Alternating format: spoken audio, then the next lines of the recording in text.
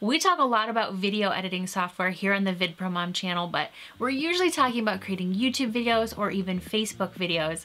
But the time has come to branch out a little bit and talk about some of the other social platforms out there that are taking part in the rapidly expanding medium of video. How do you create videos for social media that might be square, might be landscape, might be portrait, and how do you do that with software that's geared for beginners? That's what we're gonna cover today. My name is Meredith Marsh and I wanna give you the best and easiest video editing software out there for editing your social media videos because they are not all created equal. If you've been a part of my channel for a while now, thank you for being a regular subscriber. If you're not, hit that subscribe button.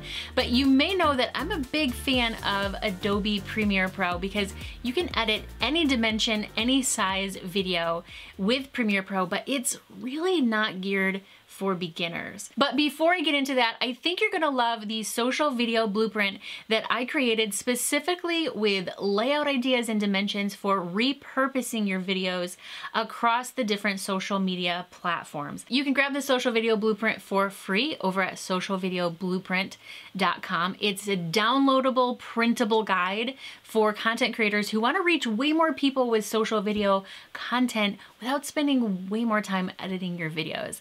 And I put a link down in the description below. So if you are gonna be repurposing videos or creating multi-platform video content, these are my favorite pieces of software to get that done. Now, I already mentioned Adobe Premiere Pro, but it's not exactly geared for beginners. You can use it, you can make any dimension or size video that you want with Premiere Pro, but it's not really beginner friendly.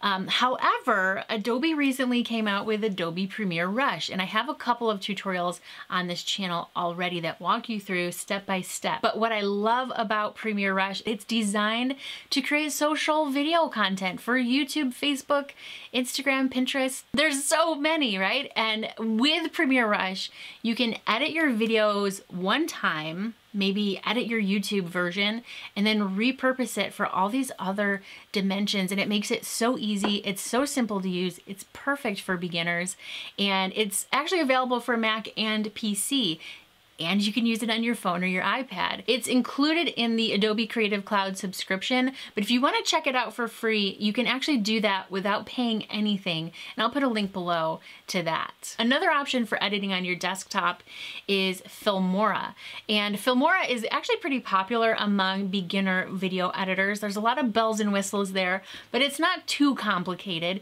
and you can choose the dimensions of your project before you create it. You can do uh, horizontal, you can do portrait, you can do um, square, and you just choose those before you actually start your project and you should be good to go. And if you like editing videos on your phone or your iPad, I highly recommend you check out LumaFusion.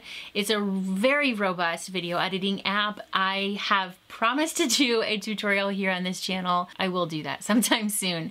Uh, but it's very robust. It's not a pain in the butt to use, which some, some mobile editing apps are kind of finicky. So those are my top three video editing platforms for beginners for editing social media videos. That's not all there is out there. You could try Final Cut Pro if you have that available to you. You can choose whatever custom dimensions you want with that. There's also Animoto, which is a web-based video editing platform.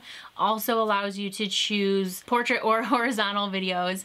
And if you have Camtasia or ScreenFlow, which is software you can use to record your desktop for like a screencast, you can also edit your videos in there and you can choose any dimensions you want for those projects as well. Speaking of dimensions for your social media videos, I put the current dimensions for landscape, vertical, and square videos inside of the social video blueprint that I mentioned earlier. And when you download that, you'll also see a special invitation to my social video workshop as well. And if you want to see Adobe Premiere Rush in action, I have a couple videos over here walking you through step by step, beginning to end, exactly how Premiere Rush works on the desktop and the iPhone. And hit subscribe on your way out so we can stay in touch.